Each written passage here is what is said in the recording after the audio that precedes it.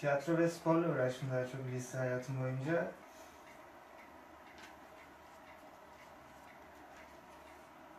Lisemin başında çok dersle e, haşır neşir olan birisi değildim. Daha çok başarısızım ve tiyatro ve sporla ilgileniyordum.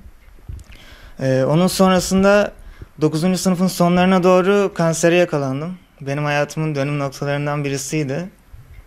Çok zor geçti tabii ki. Ee, bir buçuk sene boyunca okula gidemedim, dışarı çıkamadım, arkadaşlarımla e, buluşamadım, konuşamadım. Ee, onu atlattıktan sonra da e, maalesef yine pandemi süreci e, ortaya çıktı ve yine okula gidemedim. Ama bu beni yıldırmadı. Dediğim gibi daha çok özellikle hastalığım beni mental anlamda hırslandırdı. 5 yıldır bu hastalıkla mücadele ediyorsunuz. Evet bir buçuk sene çok yoğun bir tedavi kemoterapi süreci oldu. İki yıldır da kontrollere gidip geliyorum.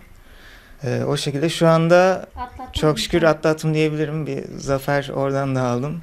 Onun üstüne bir de sınav sonucunda çok büyük bir mutluluk verdi. Şu anda kendimi doktorluğa adamaya hazırım diyebilirim. Zaten onun şeyiyle, onun hırsıyla çalıştım her zaman dediğim gibi. Ee, çok büyük teşvik oldu.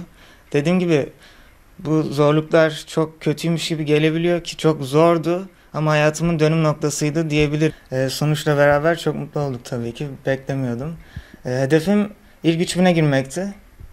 Tıp istiyordum ve 3000 gayet yeterliydi benim için.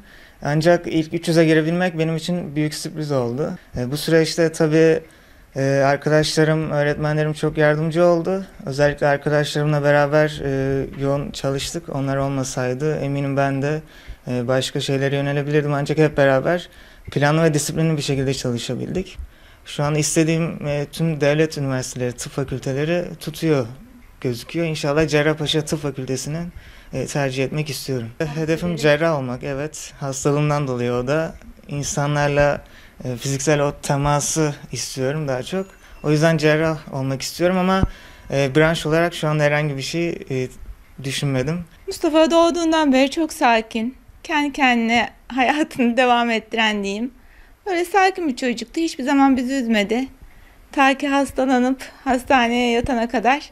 Çok şükür onu da kendi çabasıyla, kendi gücüyle atlattık. Bu kaç yaşında bu hastalığa yakalandı ve nasıl fark ettiniz? 15 yaşındaydı. Bir tesadüf sonucu kulak altındaki lenf bezlerinde bir şişme meydana geldi. Tesadüf işte bir doktora gidelim de bir görsün falan dedik. Öylelikle çıktı.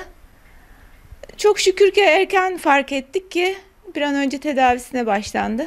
Yani bunu yaşayan bilir. Çok zor günler geçirdik. Sürekli onu ayak tut- ayakta tutmak için çabaladık babasıyla beraber. Hep mutlu olsun, hep bırakmasın kendini, savaşsın.